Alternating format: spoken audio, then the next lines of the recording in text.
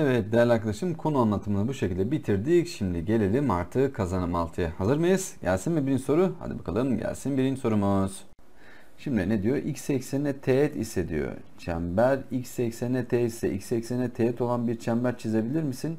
Tabii ki de çizebilirsin. Ee, şu şekilde x eksenine teğet bir çember çizmeye çalışalım. X eksenine teğet bir çember çizdik. Yani yukarıdan da bunu birleştiriyorum. Sadece bu x eksenine teğet bir çember. X eksenine teğet bir çember olduğu için tabi bu bu taraftaydı. Ben şekli biraz yanlış çizdim. Kusuruma bakma. Altta olacaktı bu şekil değil mi? Yani şu yukarıda olacaktı. E, dolayısıyla yarı çapımız bizim için yarı çapımız y'nin e, ordinata eşit olacaktır. Ordinatın mutlak değeri yani eksi 2'nin mutlak değeri. R eşittir. Eksi 2'nin mutlak değeri bu da eşittir 2 olacaktır. O zaman merkezimiz 5'e eksi 2 yarı çapımız 2 birim olduğu için x eksi 5'in karesi artı y artı 2'nin karesi eşittir 2'nin karesi olacaktır değerli arkadaşım. Gelelim ikinci sorumuza. İkinci soruya şöyle bir göz gezdirdiğim zaman yine merkezi eksi 3'e 4 ve y eksenine teğet olan çemberden bahsediyor. Y eksenine teğet olan çemberi görmüştüm daha önce. Bir kere daha hatırlatayım. Eksi 3'e 4 diyor. O zaman nerede çizeceğiz? İkinci bölgede çizeceğiz. Şöyle bir ne diyor? Y eksenine teğet bir çember çiziyoruz değil mi? Sadece y eksenine teğet. Şunu da x ekseninde böyle çizelim. Eksi 3'e 4 diyor. Eksi 3'e 4. Hay hay. Eksi 3'e 4. Merkezimizin koordinatları eksi 3'e 4. Şekil çizim kafan zihninde daha iyi canlanması açısından. Ee, değerli arkadaşım burası nedir? Yarı çaptır değil mi? Bizim için e, bu koordinatımızı eksi 3 idi. Ancak yarı çapımız mutlak değer yani apsis merkezin koordinatının apsisin mutlak değerine eşitti. O da mutlak değerci değeri 3'tür. Dolayısıyla yarı çapımız 3. Merkezimiz eksi 3'e 4. O zaman x eksi eksi 3'ten x artı 3'ün karesi artı y eksi 4'ün karesi eşittir r kare. Yani 3'ün karesi olacaktır değerli arkadaşım. Anlaştık.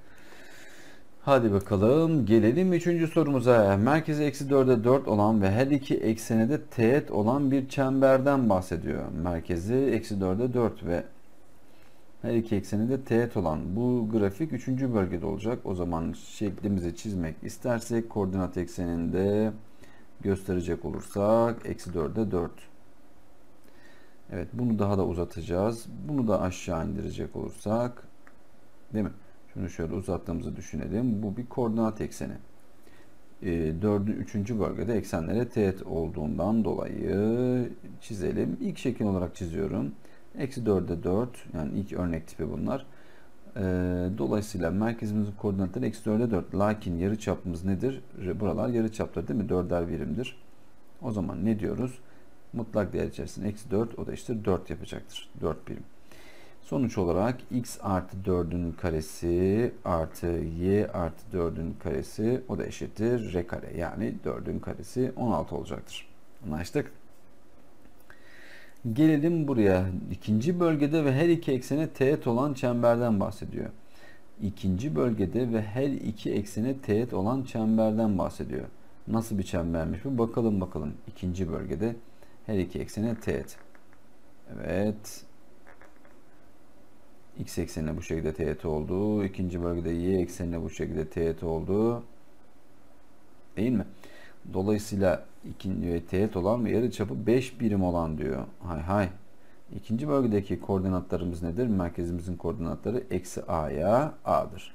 Ve yarı çapımız r eşittir 5 birim ise o zaman burası eksi 5. Burası da 5 olacaktır değil mi koordinatlar olarak?